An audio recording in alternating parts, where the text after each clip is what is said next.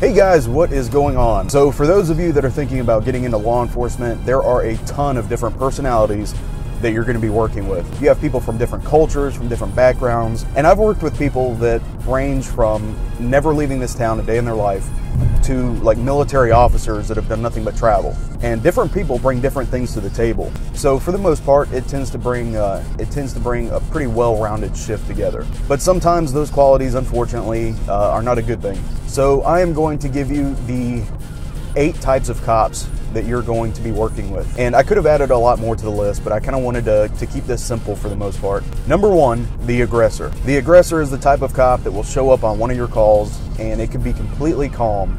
And within two to three minutes, there's a fight, there's handcuffs going on people, like shit just completely broke out out of nowhere. Don't be an aggressor. It causes a lot of unnecessary paperwork uh, on the primary officer, and there's just no reason to stir up shit if there's nothing to be stirred. This is the type of cop that a lot of people don't like. This is somebody that does not like to be challenged. And don't get me wrong, for the most part, a lot of us are very alpha male, um, so nobody likes to be challenged, but there's a certain way to handle situations. And to go into a calm situation and to make it worse is just, it's bad. Number two, the report dodger. The report dodger is the one person on shift that will do anything to get out of having to do a report. These are the same guys that will show up to a burglary and somehow leave the scene without giving them a case number. They will go to great lengths to talk people out of reports. These are the same people that if they took the amount of time and effort into getting out of a report into writing one, it would be an amazing report. Number three, the jock. The jock is always the person that was way too eager to be a cop.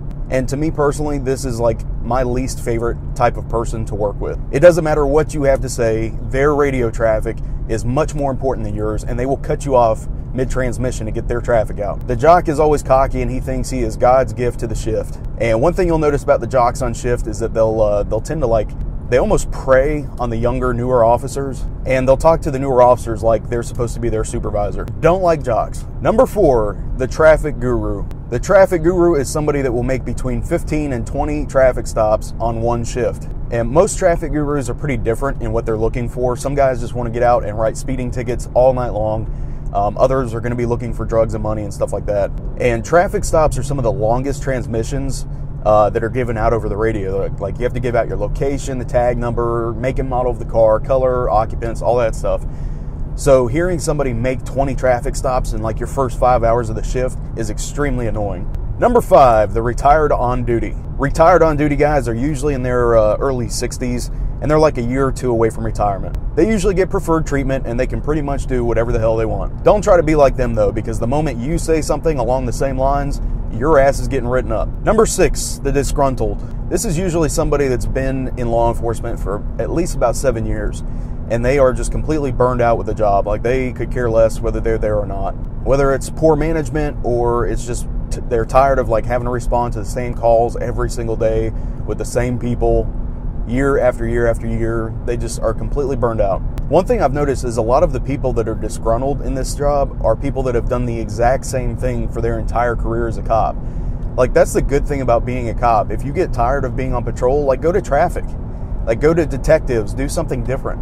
That's what I love about this job is there's always like different things that you can do. You're never like just stuck on patrol. Number 7, the loner. The loner is for the most part somebody that just pretty much keeps to themselves the entire shift. He does his job just fine, but he can't stand around other officers for more than about 10 minutes without getting antsy. Like he's ready to get back in his car.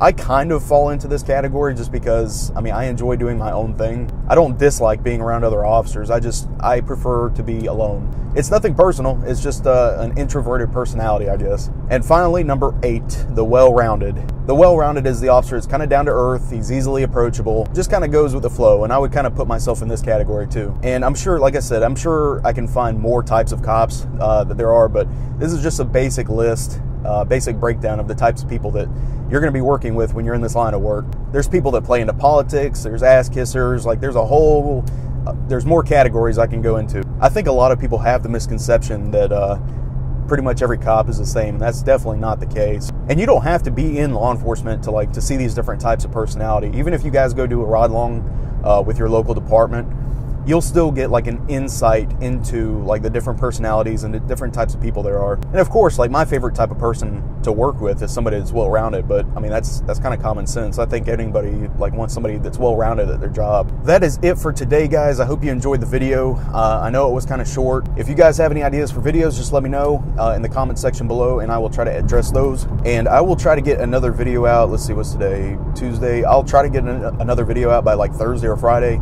Uh, this week is going to be extremely hectic, man. We've got two people that are out in training for the whole rest of the week. Well, guys, I'm going to go home and edit before work tonight. Um, I hope you guys enjoyed the video. Like I said, if you have any more ideas, just let me know, man. Thank you guys so much for watching, as always. And guys, let me know what you think about the new intro. Um, I'll actually put the name of it in the description below so you guys can look it up. I hope everyone has a fantastic day as always, and I will see you guys very soon.